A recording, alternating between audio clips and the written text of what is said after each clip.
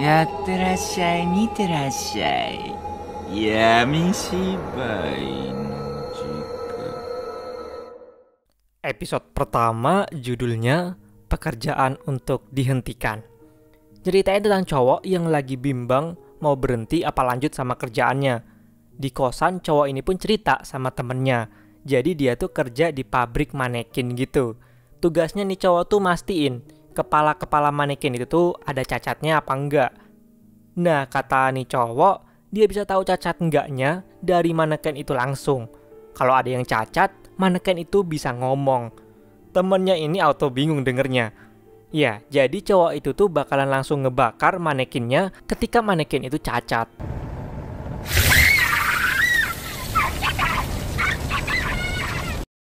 Abis cerita kayak gitu, cowok ini pun mau beli minum dulu. Nah, temennya ini auto mikir dong.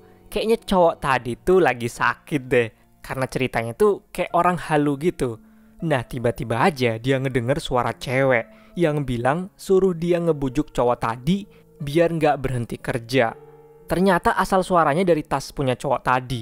Pas dibuka, isinya ada banyak kepala manekin. Terus si manekin ini bilang kalau cowok tadi tuh berhenti kerja, mereka semua bakalan dibakar. あの人が仕事を辞めてしまったらまた私たちは燃やされてしまう Jadi ternyata cowok itu tuh nggak ngebakar manekin-manekin yang cacat. Eh tapi malah dia dibawa pulang karena mungkin nggak tega cowok tadi. Manekin-manekin ini tiba-tiba berdiri dan maksa cowok ini buat bujuk cowok tadi. Makin banyak tuh manekin yang ngejar dia karena saking takutnya cowok ini pun ngeluarin korek. Dan ternyata manekin-manekin itu takut sama api. Nah, kita ke cowok yang pergi beli minum tadi. Pas dia balik ke rumahnya, lah ternyata udah kebakaran coy. Manekin sama temennya itu udah hangus terbakar. Dan di endingnya, bosnya cowok ini ngasih tempat tinggal baru. Jadinya nih cowok pun sungkan kalau berhenti dari kerjaannya. Ditambah sekarang nih cowok makin sering ngedenger suara-suara dari manekin itu. Episode kedua judulnya Catatan Terakhir. Nyeritain tentang tiga bersaudara yang ayahnya mati di rumah tanpa diketahui siapa pun. Jadi tiga anaknya ini nih udah pisah rumah sama bapaknya dan bapaknya itu tuh tinggal sendirian. Karena bapaknya itu meninggal, akhirnya ketiganya ini mutusin buat beresin rumah bapaknya. Banyak banget sampah di situ. Sebenarnya anak kedua sama ketiga ini nih nggak suka ke rumah bapaknya.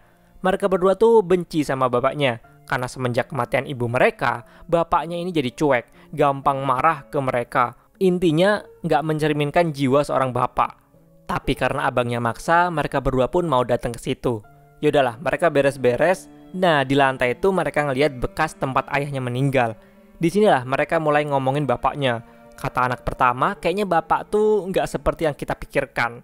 Kata abangnya ini, pas zaman dia SMA, jadi pemain inti di tim sepak bolanya, dia tuh kayak ngelihat bapaknya dari kejauhan. Bapaknya tuh dari jauh kayak sambil nulis-nulis gitu. Terus kata abangnya ini, pas hari kelulusan si anak kedua, yang jemput adiknya itu kan abangnya, karena bapaknya itu nggak peduli dikiranya. Tapi abangnya samar-samar dari kejauhan ngeliat bapaknya itu dari jauh lagi nulis-nulis gitu juga. Nah, terus anak terakhirnya si cewek ini, dia bilang kalau pas hari pernikahannya, suaminya tuh ngeliat dari jauh bapaknya datang, tapi cuma di depan tempat nikah aja. Lagi-lagi sambil nulis-nulis gitu. Setelah mereka beres-beres di laci meja, mereka nemuin album foto-foto gitu. Nah, ternyata ada tuh foto pas si abang ikut tim bola, foto di hari kelulusan anak kedua, sampai ada foto juga pernikahan anak gadisnya. Jadi mereka akhirnya yakin kalau bapak mereka tuh datang di momen-momen penting itu. Mereka juga nemuin sebuah buku catatan punya bapaknya yang ternyata isinya tuh tentang anak-anaknya. Bapaknya yang kelihatan cuek ini ternyata diem-diem sangat amat memperhatikan anaknya. Cuma dia tuh malu buat ngungkapin sama ngomong secara langsung. Jadi bentuk kasih sayangnya nggak ditunjukin secara langsung. Di sinilah ketiganya auto sedih cuy. Bapak yang mereka anggap nggak sayang ke mereka, ternyata begitu sayangnya ke mereka bertiga. Di catatan itu juga ada hal-hal yang bapaknya pengen lakuin sebelum mati. Yang dicoret tuh udahan, udah dilakuin, kayak bertemu anak-anaknya, bicara tentang masa lalu sama mereka, terus mengatakan yang sebenarnya. Dan satu yang belum dicoret, yaitu harus memangkas. Nah, mereka bingung kan? Kayaknya empat-empatnya belum ada yang bapaknya kerjain. tapi ngapa udah dicoret. Tapi mereka nggak mikirin itu. Mereka mikirnya keinginan keempat harus memangkas itu tuh bakalan mereka wujudin. Dikiranya mangkas rumput di belakang rumah. Jadi mereka pengen ngewujudin itu di pagi harinya. Dan episode ini ditutup sama tiga anak ini yang di hari besoknya entah ketiduran atau malah mati. Nah, menurut gua gini coy, gimana kalau keinginan keempat itu tuh bukan memangkas rumput, tapi memangkas nyawa anak-anaknya. Karena mungkin saking sayangnya ke anak-anaknya ini dia nggak rela mati sendirian dan pengen bareng-bareng mati juga. Nah itu juga make sense juga kenapa keinginan yang lain tuh dicoret. Karena sebenarnya roh hantu bapaknya itu ada di situ juga. Episode ketiga judulnya Penghujung Hari. Nyeritain tentang cewek SMP yang nggak punya temen. Setiap berangkat sekolah dia lewat depan apartemen ini. Dia tuh selalu ngeliat di salah satu kamar ada mbak-mbak yang ngeliatin dia di lantai atas itu. Malamnya cewek ini iseng dengerin radio. Tiba-tiba di radio tersebut ada sesi curhat penonton gitulah. Orang itu curhat kalau katanya setiap pagi ada cewek sekolahan yang setiap berangkat sekolah selalu ngeliat ke arah jendelanya. Nah nih cewek yang ngedenger itu langsung ngerasa, apa jangan-jangan orang yang curhat ini nih mbak-mbak itu. Tapi dia nggak terlalu mikirin hal itu. Besoknya pas berangkat sekolah, cewek ini masih ngeliatin mbak-mbak itu di jendelanya. Malamnya, lagi-lagi dia ngedengerin radio. Dan bener aja, ada orang curhat kayak kemarin. Kata orang curhat itu, kali ini gadis SMP-nya senyum ke dia katanya. Nih cewek auto nambah yakin kalau dia nih mbak-mbak itu. Dia beberapa hari ini ngedengerin radio itu. Karena dari situ dia kayak ngerasa nggak kesepian lagi. Beberapa hari kemudian, pas di sekolah, secara nggak sengaja dia dapet temen buat pertama kalinya. Makin akrab tuh, cewek ini sama temennya. Dan dia pun sekarang hampir nggak pernah ngeliat ke arah jendela itu. Bahkan dengerin radio juga nggak pernah. Sampai akhirnya seminggu kemudian dia penasaran sama mbak-mbak itu. Dia pun ngedengerin radio, dan beneran aja, mbak-mbak itu masih curhat kalau katanya cewek SMP yang selalu ngeliatin dia tuh sekarang punya temen dan jarang ngeliat ke arahnya. Dan di akhir mbak-mbak ini bilang besok mau nemuin cewek ini secara langsung.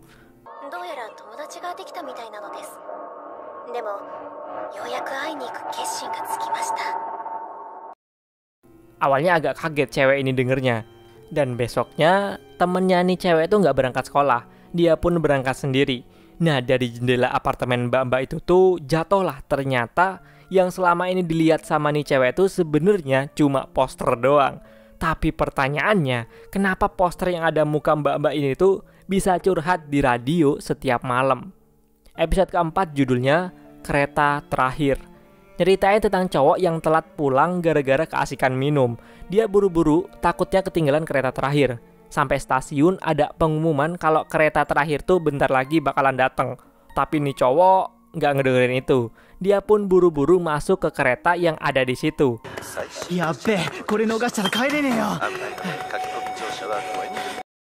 Sampai gerbong kereta dia ngerasa aneh. Masa bisa-bisanya kereta yang biasanya padat ini nih sekarang cuma ada dia doang. Dia pun ngabarin temennya yang dia tinggal di depan stasiun. Tiba-tiba dia dapat pesan dari cewek kantornya. Jadi tadi sebelum nih cowok minum-minum bareng temennya, cewek itu tuh katanya mau ngomong sesuatu sama cowok ini malam ini. Lewat telepon juga nggak apa-apa katanya. Nah, balik lagi ke cowok ini. Dia makin ngerasa aneh. Kok dari tadi kereta ini tuh nggak berhenti-berhenti? Sampai stasiun mana pun nggak ada keterangannya di papan informasi. Tiba-tiba dia ditelepon sama temennya. Temennya ini bisik-bisik karena diliatin sama penumpang lain. Nah, cowok ini katanya naik di kereta terakhir. Cowok ini penasaran, kok di gerbongnya rame orang. Dia pun pengen ke gerbong depan. Nah, akhirnya dia jalan dan ngeliat di gerbong depan ada temen ceweknya yang di tempat kerja itu. Nah, ternyata ada kereta yang jalan di sebelah kereta cowok ini. Dia ngeliat kalau temennya tuh naik kereta itu.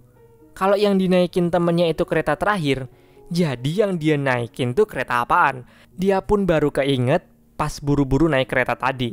Kan di pengumuman bilang kalau kereta tuh mau dateng, bukan udah dateng. Dan tiba-tiba aja kereta yang dinaikin cowok ini semua lampunya mati dan berhenti di tengah hutan. Dia pun kejebak bareng cewek itu.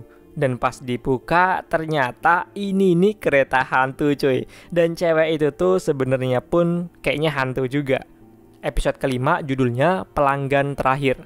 Nyeritain tentang mahasiswa yang lagi kerja part-time di kafe. Pas kafenya mau tutup, ternyata masih ada nenek-nenek di situ. Cowok ini pun bilangin baik-baik kalau kafenya tuh mau tutup. Tapi malahan nenek-nenek ini bilang dia tuh nggak punya tempat tinggal dan pengen pergi ke rumah cowok ini. Soda, anata no ie ni ittemo kashira? Ya pastinya nih cowok nolak lah. Tiba-tiba aja orang asing mau ke rumahnya. Tiba-tiba datang tuh manajer kafe dan bilang kalau cowok ini tuh dari tadi ngomong sendirian. Nah, auto bingung dah cowok ini. Dia pun akhirnya mutusin buat balik ke rumah. Sampai rumah dia ngeliat nenek tadi tuh udah ada di dalam rumahnya. Lagi ngobrol bareng pacarnya. Cewek ini ngira kalau nenek itu tuh dikiranya diundang sama cowoknya. Akhirnya cowok ini pun ngusir dengan paksa nenek tadi. Si nenek pun marah dan bilang kalau cowok ini katanya bakalan kayak dia juga. Besok paginya pas nih cewek ngelihat pacarnya tuh udah berubah. Sampai-sampai dia nggak ngenalin kalau itu tuh cowoknya. Dia ngira itu tuh orang asing yang tiba-tiba masuk dan tidur di sebelahnya. Semuanya tiba-tiba nggak ada yang ngenalin. Bahkan bosnya sendiri tuh nggak kenal kalau dia tuh kerja di situ. Cowok ini mikir, pasti ini nih ulah nenek-nenek kemarin. Dan akhirnya dia mutusin buat ke kafe. Dan kejadiannya bakalan terusan keulang ke orang-orang baru. Kayak lingkaran nggak ada ujung gitu. Episode ke-6 judulnya Pembuangan Sampah. Kali ini nyeritain tentang seorang cewek yang baru aja pindah di lingkungan baru. Dia bersih-bersih nyapu di depan gedungnya. Nah, dia ngeliat ada banyak tumpukan sampah di situ. Beberapa menit kemudian, truk pengangkut sampah datang dan ngangkutin sampah-sampah itu. Tiba-tiba pas mobil itu pergi, datang tuh cowok yang naruh sesuatu di situ. Nih cewek bilang kalau truk pengangkut sampah tuh barusan aja pergi. Tapi cowok ini bilang kalau di situ tuh tempat titik pengambilan khusus. Jadi setiap Rabu kelima di bulan itu bakalan truk ungu yang datang. Para warga di situ harus naruh barang apa pun yang nggak ingin dibuang. Nih cowok bawa kimono punya pacarnya yang paling berharga. Cewek yang baru pindah ini bingung dong. Kalau ditaruh di situ bukannya nanti hilang, bakalan diangkut sama petugas sampah. Cowok ini bilang, justru itu, kalau pengen barangnya nggak hilang, mereka harus naruh barang kesayangannya di situ. Dan ternyata di belakang cewek ini tuh udah antri orang-orang yang mau naruh barangnya di situ. Cewek ini pun masih belum paham dan mutusin buat balik. Di jalan pulang dia ngeliat truk ungu baru aja pergi. Dia buru-buru ngecek barangnya yang paling penting. Ada nggak masihan? Pas dicek, oh ternyata aman, nggak ada yang hilang. Berarti cowok tadi tuh cuma bohong doang. Dia pun baca tanggalan yang ada di situ. Ternyata ada catatan kecil dari pemilik apartemen. Katanya setiap hari Rabu, truk ungu datang dan bakalan identifikasi benda-benda yang berharga. Jadi nggak bakalan diambil secara paksa. Beberapa jam kemudian, pas lagi di jalan, dia ngeliat ada ibu-ibu yang barangnya tuh diambil secara paksa sama petugas truk warna ungu. Nih cewek mikir, apa jangan-jangan bener ya tentang truk itu? Beberapa hari kemudian dia pun ngerasa kok cowoknya nggak ada kabar berhari-hari. Pas ditelepon pun nggak diangkat. Dia coba lagi telepon malamnya. Ternyata diangkat. Cowok ini bilang dia nggak tahu ada di mana ini. Karena tiba-tiba aja diangkat dan ditaruh di tempat misterius. Dan cewek ini bukannya panik, dia malah senyum creepy gitu. Dan bilang berarti cowoknya lah yang paling berharga bagi dia.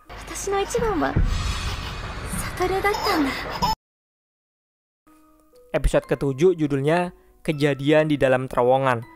Nyeritain tentang pasangan yang turun dari gunung. Di jalan mereka ngelewatin satu terowongan. Awalnya mereka agak ragu buat masuk karena kelihatannya terowongan itu tuh nyeremin. Tapi daripada muter lewat jalan yang jauh, mereka pun nekat masuk. Mereka pun pegangan tangan pas masuk. Beberapa detik kemudian, si cowok ini udah keluar dari terowongan. Dan ceweknya malah nggak ikut keluar. Nggak berapa lama kemudian, ceweknya pun keluar. Tapi tiba-tiba aja jadi kayak gini.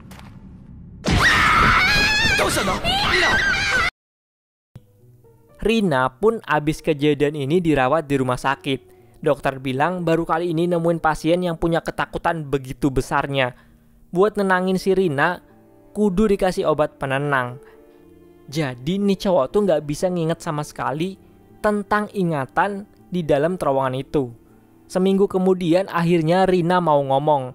Si Rina ini awalnya ngotot, pengen putus aja dari pacarnya. Tapi si cowok ini bujuk buat berbagi cerita ke dia, biar penderitaannya tuh bisa dibagi ke dia juga. Tapi dari situ Rina ini jadi diem seribu bahasa. Enam bulan kemudian barulah Rina mau cerita tentang kejadian pas dia masuk ke terowongan. Ternyata pas masuk ke terowongan itu dia ngeliat keanehan. Dia awalnya ngedenger suara rintihan gitu. Pas dia nengok ke belakang, dia ngeliat sesuatu yang buat dia takut setengah mati. Di momen dia nginget-nginget kejadian itu, Rina pun mati. Tapi anehnya cuy, Walaupun Rina ini udah nggak bernyawa, tapi dia tetap lanjut cerita.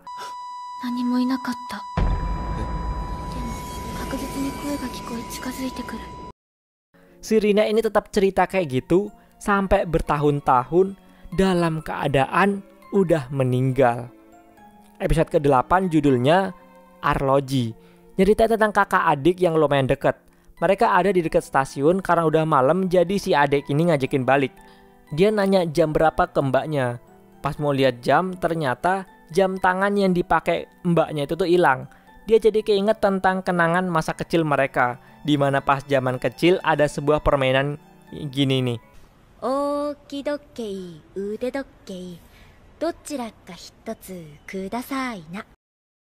Jadi pas main itu harus milih jam beker atau arloji. Kalau nggak milih katanya bakalan dateng hantu si Ade ini ingat kalau dulu katanya jam tangan atau Al-Raji punya mbaknya itu diambil sama hantu Tokia itu. Akhirnya abis itu pun si kakak pulang duluan. Di jalan dia keinget sama kejadian masa kecil. Jadi dulu kakaknya ini punya jam warna pink. Si Ade pun iri, pengen juga, tapi kakaknya nggak mau ngasih karena itu tuh jam tangan kesayangannya. Pas gedenya jam tangan itu malah hilang. Besoknya dia ngeliat seniornya tuh kayak pucat gitu. Nah, dia sadar kalau seniornya ini tuh kehilangan jam tangan juga kayak dia. Tiba-tiba seniornya bilang kalau dia milih pilihan yang salah. Beberapa jam kemudian dia baru tahu kalau seniornya itu tuh yang tadi tuh ternyata udah mati cuy kemarin. Karena dia nggak masuk kerja jadi dia nggak tahu beritanya. Berarti kalau gitu tadi dia tuh ngobrol sama hantunya seniornya itu. Pas di rumah cewek ini mikirin tentang hal tadi. Tiba-tiba adiknya datang dengan muka pucat gitu. Dia bilang kalau pas kecil mereka berdua udah milih pilihan yang salah. Kita flashback ke masa kecil mereka berdua. Jadi mereka abis pulang les ketemu sama hantu Tokye yang nyuruh milih antara jam tangan atau jam beker. Tapi si kakak ini malah milih jam tangan. Dan akhirnya karena pilihannya itulah adiknya itu dibawa sama hantu itu dan adiknya yang sekarang tuh sebenarnya udah hilang dari lama. Cuma kakaknya aja lah yang bisa ngeliat. Jadi gini cuy, kalau lu milih jam tangan, maka sebagai gantinya diri lu atau orang terkasih lu yang bakalan diambil sama hantu Tokie ini. Episode ke-9 judulnya Untuk Diriku di Masa Depan. Ceritain tentang cowok yang udah kehilangan impiannya. Dia sekarang jadi sales di sebuah perusahaan gitu dia ngeluh karena kerjaannya tuh makin hari makin susah. Nah pas di rumah dia nemuin CD yang tulisannya untuk diriku di masa depan. Pas dia puter, ternyata rekaman masa kecilnya yang sengaja dia buat pas kecil dulu untuk dirinya di masa ini. Jadi nih cowok sebenarnya kecil dulu tuh punya cita-cita jadi mangaka. Tapi karena kerasnya kehidupan, dia pun nyerah sama mimpinya itu dalam beberapa tahun lalu. Nah tiba-tiba aja pas dia cuekin rekaman itu tuh mendadak berubah. Seolah-olah tahu kalau di masa depan nih cowok bakalan jadi orang gagal.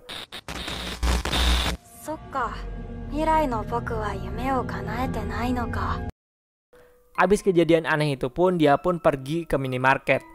Di jalan dia papasan sama beberapa orang aneh yang mukanya nyeremin cuy. Nah dia keinget kalau abis reuni tahun lalu tuh temen-temennya pada meninggal satu persatu nyisain dia sama satu orang temennya. Akhirnya dia pun ke rumah temennya buat ngobrolin hal ini. Temennya ini namanya Shigeru. Beda sama cowok ini, Shigeru tuh sukses cuy. Shigeru bilang kalau dia tuh lupa sama impian masa kecilnya. Sampai akhirnya tahun lalu pas dia juga nemuin CD kenangan itu, dia pun jadi keinget tentang impian masa depannya. Nih cowok pun penasaran kan, sebenarnya Shigeru tuh impiannya apaan? Nih cowok keinget kalau Shigeru tuh pas kecil sering dibully. Nah, nih cowok kaget pas ngeliat isi rekaman itu. Karena impian Shigeru tuh katanya bakalan ngebunuh semua temen kelasnya.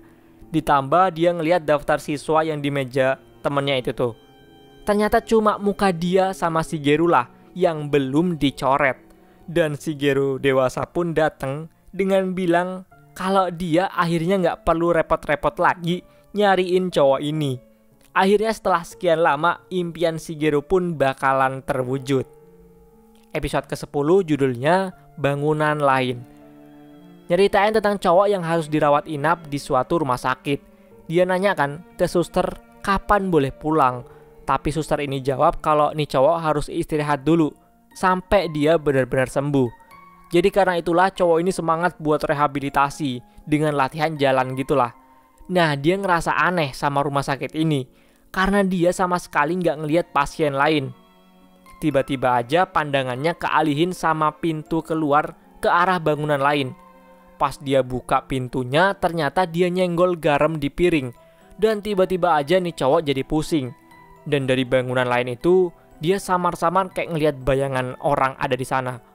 Buru-buru perawat lari buat ngehentiin cowok ini. Bangun-bangun, dia ngelihat istrinya udah ada di sampingnya. Pas nih cowok nanya ke susternya, ada apa sama bangunan di sebelah itu? Kata susternya tuh, kalau rumah sakit ini cuma ada satu gedung dan bangunan yang dimaksud cowok tadi tuh nggak ada. Malamnya cowok yang penasaran ini pun lagi-lagi pengen ke sana. Pas lagi jalan tiba-tiba dia nyenggol garam di piring. Padahal tadi siang tuh nggak ada cuy. Dan tiba-tiba aja jadi pusing kayak tadi siang. Tiba-tiba aja dia ngeliat makhluk-makhluk aneh ada di lorong.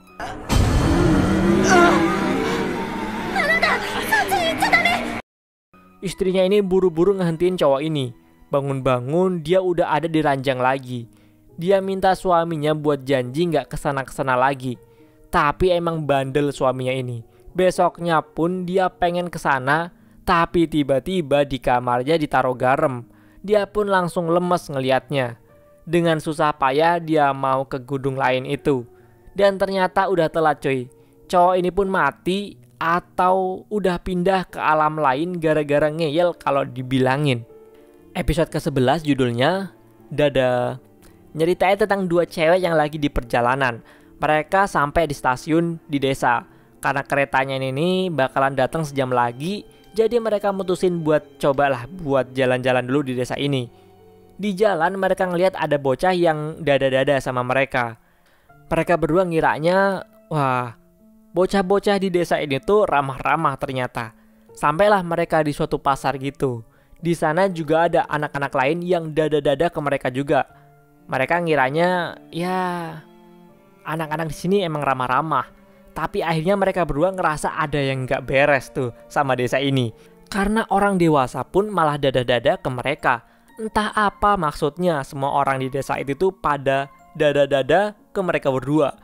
Bukannya seneng dua cewek ini ya aku tuh takut cuy. Sampai Kanai ngerasa tubuhnya tuh ada yang kayak mau masuk gitu. Dia serasa dipaksa keluar dari tubuhnya sendiri. Mau minta tolong ke orang-orang desa ini, orang-orang di desa ini tuh malah makin jadi. Mereka masih aja dada-dada gitu. Dan Kanae pun pingsan. Ketika cewek ini ngelihat Kanae lagi, dia tuh udah bangun, tapi kayak bukan Kanae. Karena kali ini tiba-tiba suaranya tuh berubah jadi suara laki-laki. Bye bye, Kanae-chan. Cewek ini pun pingsan dan bangun-bangun dia udah ada di rumah sakit. Dia tanya ke dokter Kanae di mana katanya lagi istirahat di ruang lain. Dia ngerasa kejadian di desa itu tuh cuma halusinasinya. Tapi tiba-tiba dokternya malah kayak gini. Bye bye. bye bye. Episode ke-12 judulnya Janji Jari Kelingking. Ceritain tentang istri yang khawatir kalau suaminya bakalan selingkuh. Dia akhir-akhir ini ngerasa suaminya jadi aneh Kayak udah berhari-hari ini dia ngerasa suaminya cuek banget. Kayak orang nggak punya semangat hidup gitu. Pas mau tidur, dia tanyalah ke suaminya, kenapa akhir-akhir ini sering bengong. Akhirnya suaminya cerita kalau dia kepikiran sama mimpinya. Jadi mimpinya tuh mula-mula kejadiannya dua bulan lalu. Setiap tidur dia mimpi hal-hal yang sama terus. Jadi di mimpinya dia hidup di tengah kota. Dan di mimpi itu dia punya keluarga. Si istri ini marah. Walaupun cuma mimpi dia nggak rela suaminya nikah lagi. Kata suaminya mimpinya itu tuh serasa real banget. Tengah malam istrinya kebangun gara-gara ngedenger suaminya ngomong-ngomong sendiri pas tidur. Nah makin hari suaminya ini nih makin nambah aneh. Dia jadi kayak susah bedain mana mimpi, mana kehidupan nyata. Bahkan makan pun jarang. Karena katanya cowok itu tuh udah makan di tempat istrinya yang lain, yaitu di mimpinya. Jadi akhirnya istrinya ini mutusin buat ngawasin suaminya pas tidur. Bener aja, suaminya itu ngigo mesra-mesraan sama istrinya yang ada di mimpinya itu.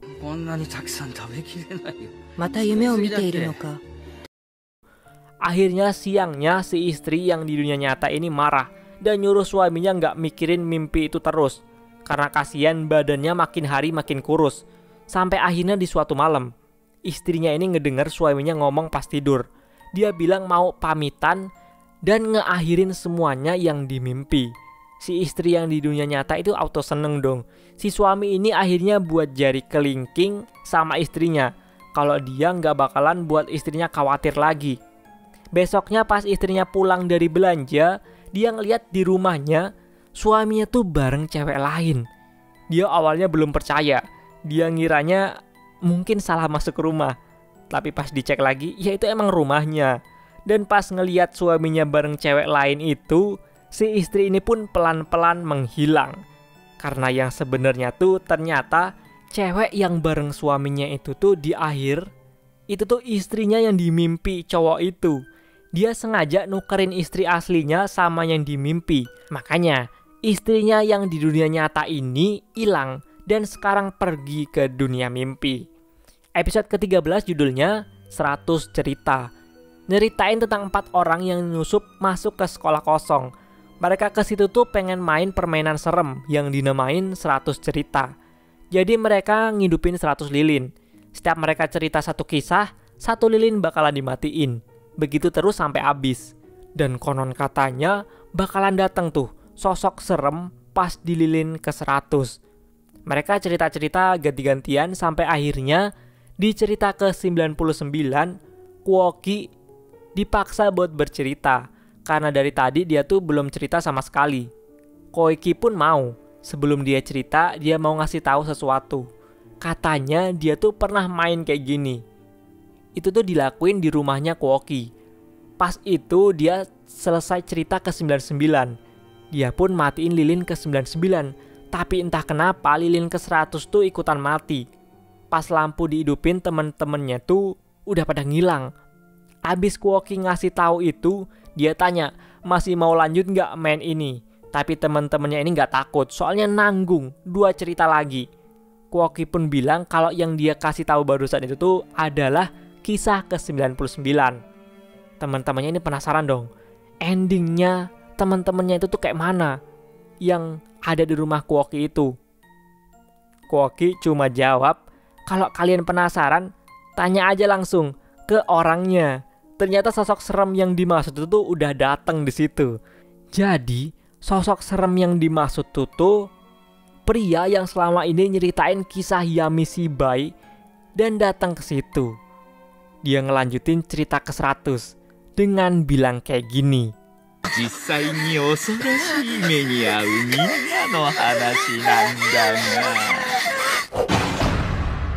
おしまい bilang kayak gini. Nah, itulah Yami Shibai season ke-10. Karena season 11 nih animenya masih ongoing, mungkin beberapa bulan lagi gue buat alur ceritanya. Di season 10 ini menurut gue ceritanya lumayan serem. Cerita favorit gue di episode ke-7. Ketika si cewek masih cerita, walaupun udah mati, itu tuh bikin gue agak merinding cuy. Ya udahlah, pokoknya makasih buat lu semua yang setia nonton alur cerita Yami Shibai ini. Kita jumpa lagi di alur cerita yang lain. Bye bye.